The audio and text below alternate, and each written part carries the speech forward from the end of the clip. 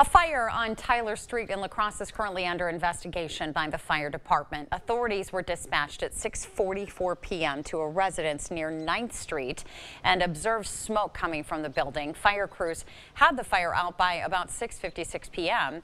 All occupants of the house were out of the building at the time, but three dogs were still inside. The fire department attempted to resuscitate the dogs, but were unsuccessful.